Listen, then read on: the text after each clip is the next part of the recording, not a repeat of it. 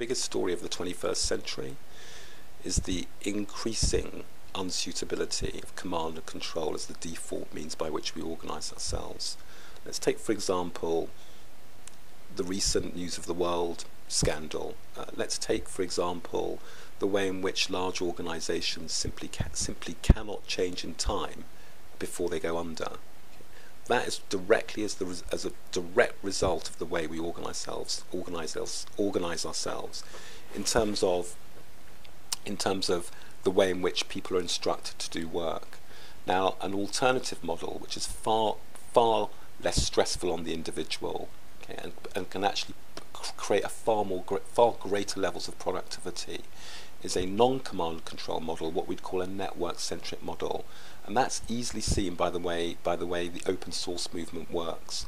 You know, we have a situation where where there are there are literally network societies of programmers, okay, two million programmers working on 90,000 software projects, and yet the biggest IT company in the world couldn't achieve that.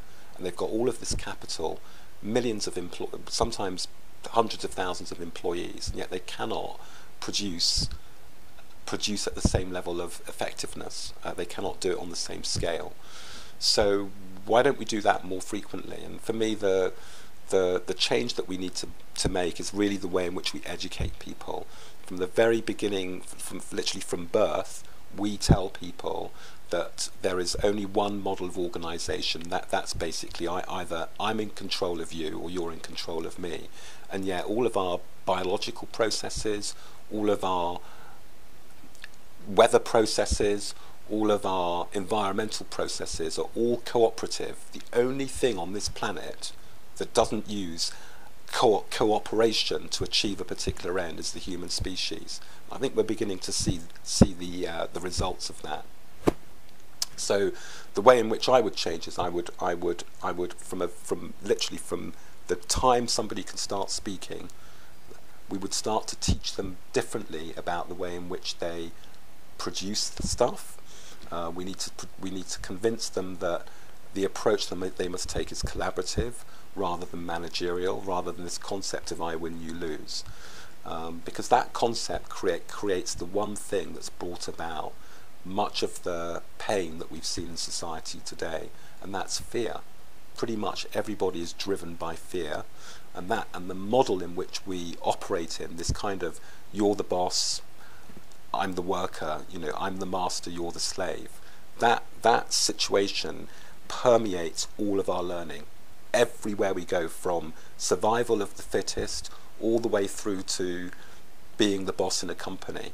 It permeates our lives. It permeates our uh, our psyches from day one. And yet, um, we could go back a couple of hundred years and look at some some societies now, particularly the ones that we found in Mayan culture in South America. Okay, and you've got to question whether kind of you know we we looked at those people and thought they were a little bit backward, and yet they had that some of the most stable societies for generation after generation after generation by taking this very simple approach to being, um, it's not even spiritual, to being one with nature, to knowing that, knowing that they knew that the economy is a wholly owned subsidiary of the environment.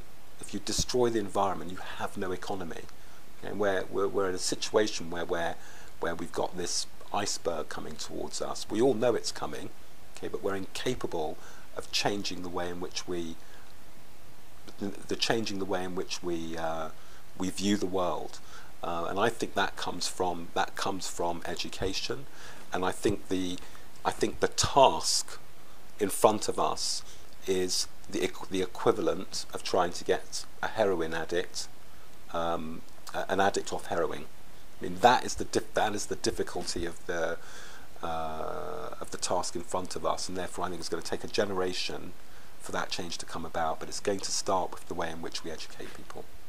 I, have written quite a lot about this in, in, in, in my book from a, uh, quite, a few, quite a few years ago now.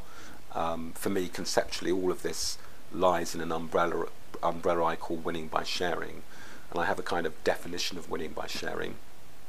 And it's a for me, it's a state of cooperation that exists between companies, individuals, and even nation states, where there is a continuous, continuous fair exchange of value, as opposed to business and government, which is based on the notion of I win, you lose. And, and if we don't move to that model, we're simply not going to survive as a, as a species. You know, we have a situation in in France, okay, in the last two or three years. France Telecom, which owns Orange Mobile here. France Telecom, two years ago, had 21 suicides in the workplace two years ago. In every single one of those cases, okay, we're talking about we're talking about they were all men. We're talking about men with wives and children. So it wasn't like they were they were on their own and just and just and just basically checking out of life. These people had families.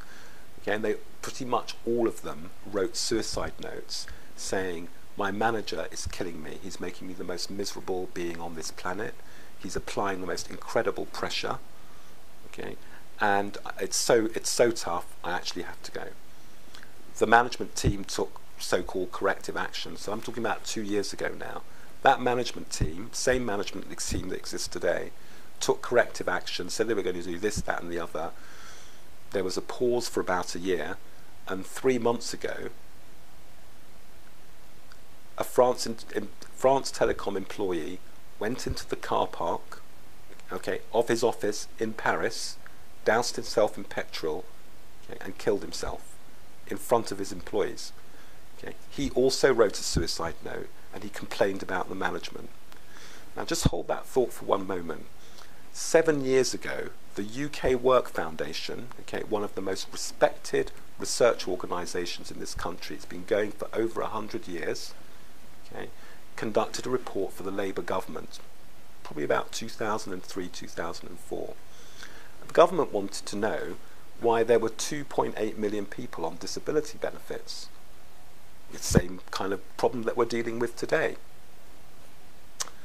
And they discovered they discovered that 60% of the people on disability benefit are there courtesy of workplace stress, the most extreme form of which I've just described at France Telecom. And yet, successive governments or successive prime ministers, minister, ministers have known about this, but not one single thing has been done to change the. You know, why don't we change what's creating that workplace stress? Okay. Well, we can't do that because that would mean going to big businesses and asking them to change the way in which they work, change their organizational model. And they're going to resist that very heavily because they're predicated, fundamentally predicated on the idea of I win, you lose. Okay? And that learning, the way in which we, at a, because at, the, at a very individual level, Okay, all of that learning comes from the way in which we educate people. From the very day we walk into a school, okay, we're taught about individual triumph. We're taught to be individually triumphant, okay, as opposed to collaboratively, collaborative and group-based.